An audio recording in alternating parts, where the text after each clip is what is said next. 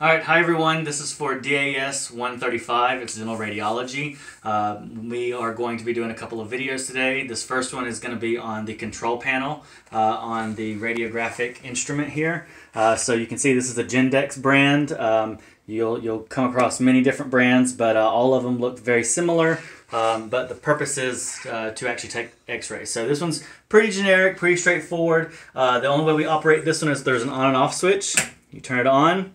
Uh, you'll see that the only kind of light up panel here is just this number right here, uh, and it's it's uh, the um, the amount of uh, exposure time. So this is exposure time in kVs. Uh, right here, it tells you how much kilovoltage as well as the milliamperage is already preset. 7 MAs to 70 kVps. Uh, you can adjust it here with the up or down button, um, but basically it's it's emitting how many pulses are being exposed within this time at this setting here. Um, so that's going to increase your uh, density or your uh, increasing your density or decreasing your density, however dark you want your film to be, based on uh, the need of the patient and based on the need of the uh, operator who's taking the X-ray. Uh, so that's the control panel. Uh, the other thing I want to make sure that we know our components here. So you have your control panel here, your on and off switch. All right, this piece right here is your extension arm. All right, and it goes out. I'm going to go ahead and move it so you can see how that works. All right, as you can see, it extends out.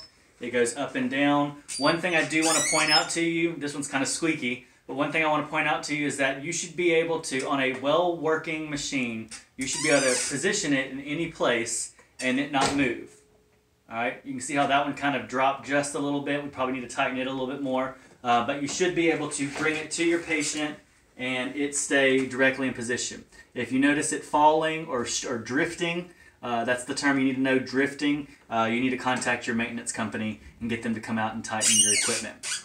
All right, so you have your control panel, your extension arm, all right, and then this right here is the tube head. All right, and if you remember from your components of the tube head, you'll know that this is where your cathode and anode is located, along with this piece right here. All right, this is that four inch piece right here. This is the PID, position indicator device, often called your cone. All right, so you can call it your cone, your position indicator device, uh, PID, either one, it all means the same thing. Just make sure you know how to differentiate uh, should you see either one of those uh, uh terms, okay?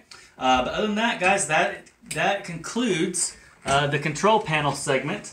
Um, once again, control panel, um, remember that's where your KV and your milliamperage is, is preset or set. Again, this one's a very basic one. It's already set for you, okay? All right.